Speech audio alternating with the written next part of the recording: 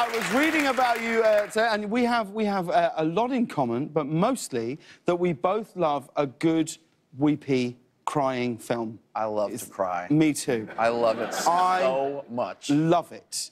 What's your where, where, what's your go-to film for a good Well, cry? it's you know I kind of plan them out strategically because there's like the empirically great movies you're gonna cry to, like Kramer versus Kramer or something. But then there's the movie that like, oh maybe this won't get me, but what if I have the flu and I'm a little more vulnerable? Right. Then it then I'll then it'll like really take me over the edge. So I save movies like.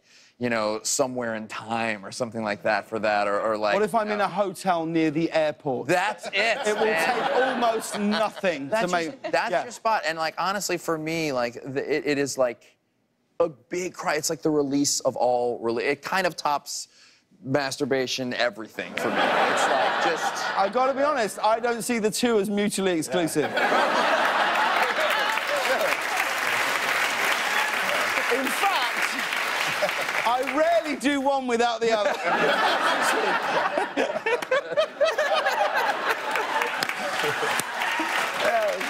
Yeah. Only when there's a mirror. When there's a mirror, I really just let go. But, um, Judd, do you cry? With, no. Um, yeah, yeah, Are you ever going to make a good weepy? Are you, would you ever make a good weepy movie? Well, I- yeah, because I, I like to cry as well. Yeah. Um, I, you know, what, you know what's a good cry? The last episode of Steve Carell on The Office. Oh, Yeah. And make you wait for it. Yeah.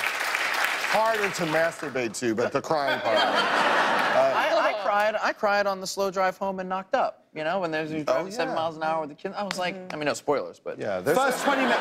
First 20 minutes of Up.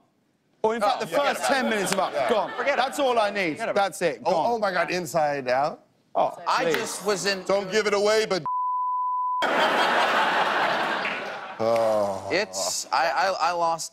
Uh, me and my entire family were in the, in the movie theater. We, we all lost it. I mean, it's it's incredible. It's also a hard thing when you go to see like children's films and you're sobbing so hard next to your child, and they're like, "Why are you? Why are you so You're upset?" because you don't understand. You're gonna grow for- up one day, adults and you're gonna